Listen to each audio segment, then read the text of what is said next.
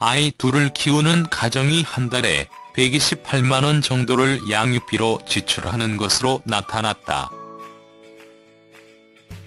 양육비의 절반은 교육비로 쓰였고 사교육비는 소득에 따라 최대 5배 이상 차이가 났다고 합니다. 17일 한국보건사회연구원의 2015년 전국 출산형 및 가족보건, 복지 실태조사에 따르면 두 자녀 가구의 양육비는 128만 6천원으로 집계됐다. 양육비는 보육비와 교육비, 돌봄 비용, 기타 비용을 모두 합친 것입니다.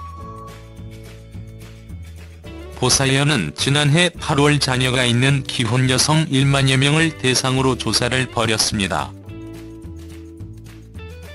양육비 가운데 가장 큰 비중을 차지하는 것은 교육비로 전체 양육비의 51%인 65만 7천원이 매달 지출됐습니다. 이 가운데 학원, 과외, 학습지 등에 들어가는 사교육비가 43만 3천원으로 공교육비의 2배에 달했습니다. 지역별로 보면 광역시 이상 대도시에 사는 가정의 양육비는 월 138만 3천원으로 중소도시나 농촌보다 많았다고 합니다.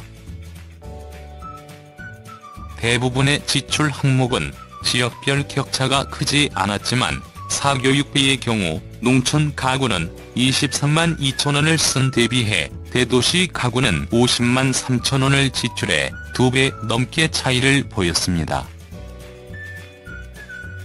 가구 소득에 따른 양육비 지출도 큰 차이가 났습니다. 지난해 2분기 가구당 월 평균 소득 427만원을 기준으로 소득 구간을 6단계로 나눠 분석한 결과 소득이 가장 높은 구간의 양육비는 203만원으로 나타났다. 소득이 가장 낮은 구간의 65만 7천원에 비해 3배에 달했습니다. 서민층의 소득은 20년 동안 1만 달러 선에서 고정 중산층의 소득은 20년 동안 1만 8천 달러 선에서 고정.